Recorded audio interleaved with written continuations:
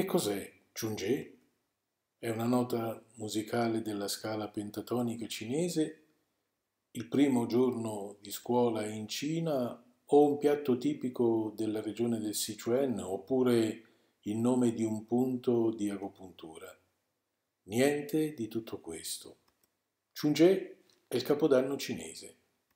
Si tratta del primo giorno di primavera, un giorno che cade alla prima luna nuova dopo il solstizio d'inverno in un giorno che ogni anno è diverso e che cade tra il 21 gennaio e il 19 febbraio. Chi non conosce Chunje probabilmente non conosce nemmeno l'agopuntura e la medicina cinese. Volete saperne di più? Video di medicina. Dall'Italia alla Cina.